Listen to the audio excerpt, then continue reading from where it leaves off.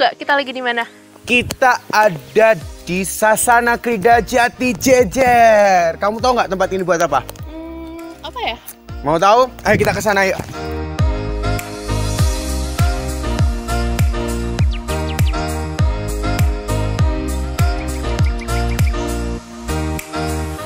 Nah, Karen, di tempat ini akan diadakan Youth Summer Camp 2018. Nah, Youth Summer Camp 2018 akan diadakan pada tanggal 26 Juni sampai 28 Juni 2018. So, bagi kalian para youth, jangan lupa untuk mendaftarkan diri Anda karena yang pasti acara Youth Summer Camp 2018 ini pasti bagus seru PGT.